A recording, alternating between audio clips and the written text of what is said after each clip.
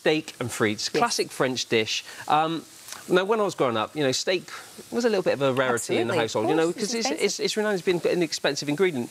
But if you look around for good deals, good bargains, mm -hmm. and actually look around at some of the different cuts of steak that you can get in your supermarkets these days, actually it, it can become a little bit more affordable. Now, I think one of the best things that you need to do is, is not look at having a gigantic steak each person, you know. Sometimes one decent steak can feed a couple of people. Right. Um, but look for some of these different cuts. So here we've got some rump steak, from Tesco's, mm -hmm. 244 grams. It comes in just under three pounds. Right, OK. And I, I truly believe, you know, a steak that size is going to feed two people. If you sure. cook it, slice it nice and thin, put it on mm. your plate, you know, you won't miss okay. that gigantic okay. steak and on there. Lots of chips then. Lots of chips, up. some salad as well, you know. It's all about a nice bit of balance on the plate.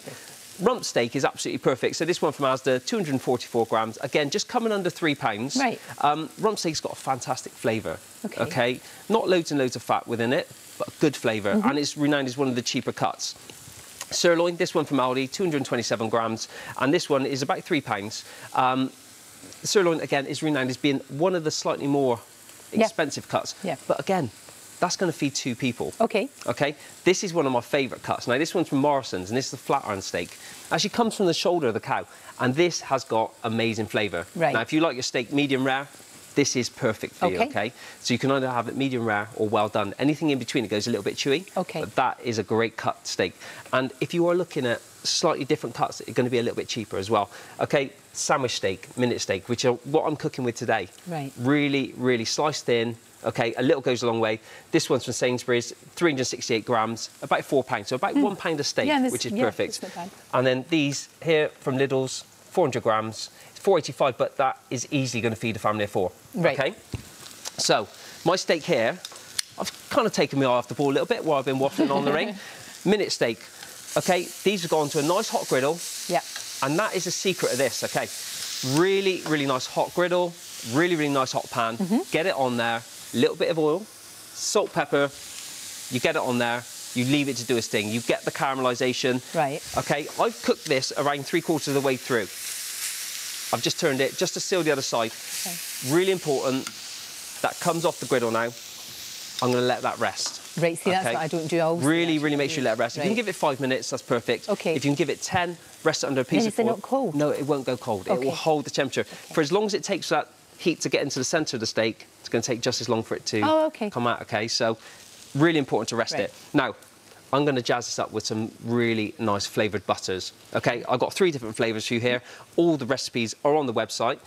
Your classic garlic butter. So we've got garlic, we've got a little bit of lemon juice, lemon zest, parsley, and of course our butter. Okay. Beat that together.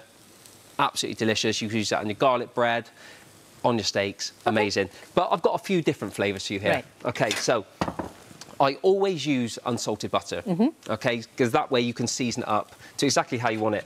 But going in here, I've got some fresh coriander. I've got some chilli. I know you like a bit of chilli, Lorraine. We've also got some smoked paprika. It's going to add a lovely little kick. So that goes in there. And then what I'm going to do, just a little squeeze of lime juice. That looks like quite a lot. Can you make a load of that? yeah, make it up. You know, it's going to keep, keep, it. Exactly, it's right, going to keep in the fridge for three or four days. It'll keep in the freezer. All right, okay. For a month or so. Right, so you can okay. just take it out, take a little slice off. Quite a good idea. It's yeah. absolutely perfect. So it's ready to go. Right. So what you need to do, room temperature butter, just give that a really, really nice stir. Mm -hmm. Okay. That comes together really nice. Got great colour, great flavour. So that's that one. Right. This next one, right, okay. Italian I know we're going French, but this is one of my favourite butters. We've got a butter, sun-dried tomatoes. We've got some Parmesan. Mm -hmm. We've got a little bit of fresh basil, which goes in. Give that a chop, give it a mix. But this is the key. Right, so get yourself some cling film. Okay. Pop your butter on there. And then just roll it now, why there. are we doing that? Well, this is how you can keep it in the fridge. So you ah, roll it up. right, OK, that's a good idea. You get yourself, just roll it towards you, you make yourself a nice make little a sausage. sausage. You're Why obsessed. did I do that to myself? I know, You're I know. Obsessed, man. Obsessed. of course, of course. Right, Lorraine. So let's get our steaks on there. What flavoured butter would you like?